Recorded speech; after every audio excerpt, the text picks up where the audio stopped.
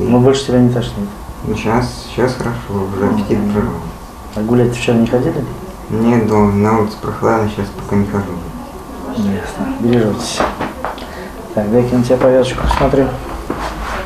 Угу. Ладно.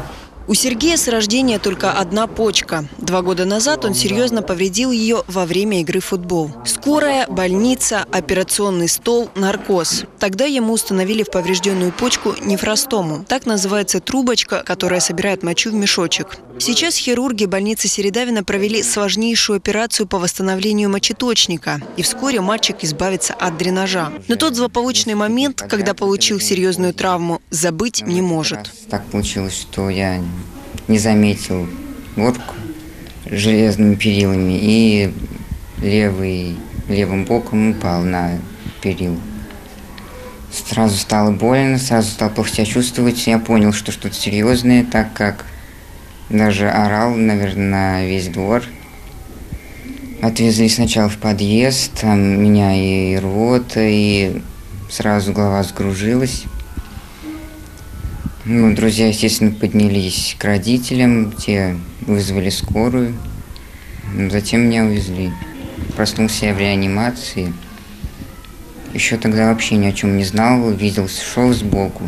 Дырки из, повсюду, трубки торчат. Я ведь раньше такого не видел, для меня удивительно же было. В этот страшный для Сергея период поддержкой и опорой была мама. Они надеялись, что в Москве помогут восстановить здоровье.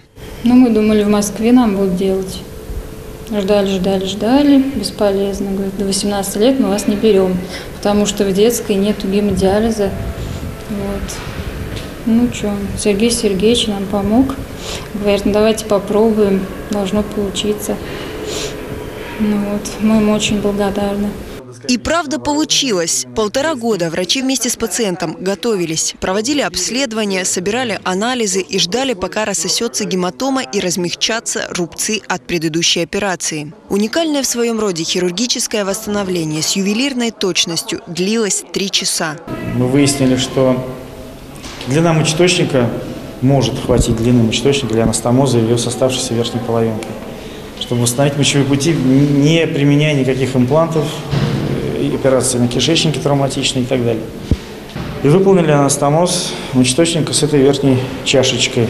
Очень многие патологии почек, которые наши справляются ну, одномоментно, как мы говорим, то есть тяжелые операции, которые делаются, коррегируется этот порог за одну операцию.